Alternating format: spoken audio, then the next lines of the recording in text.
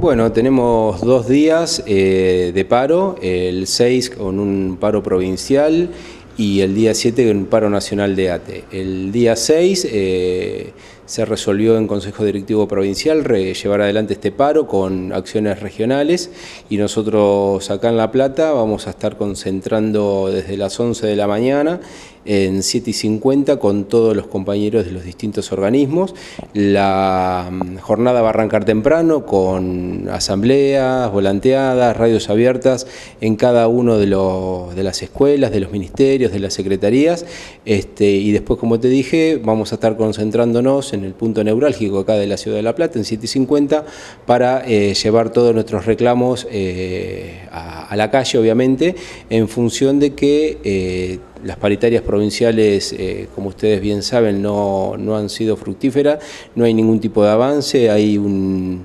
un silencio pronunciado del gobierno y una decisión de no discutir un montón de otros temas y centrar la paritaria solamente en una cuestión salarial, en la cual tampoco nos estamos poniendo de acuerdo eh, a vida cuenta de la diferencia que hay entre lo que nosotros planteamos como un aumento salarial real que hoy los trabajadores necesitaríamos y este 17% que está ofreciendo la provincia. Y el día miércoles 7, en el marco del paro nacional de ATE,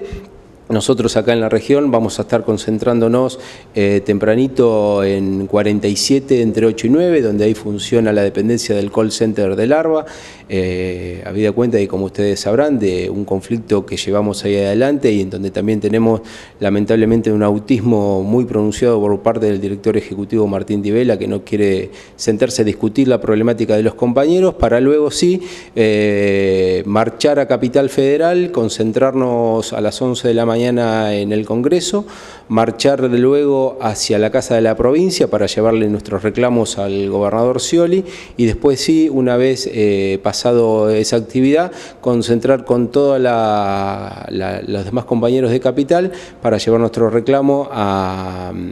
Plaza de Mayo.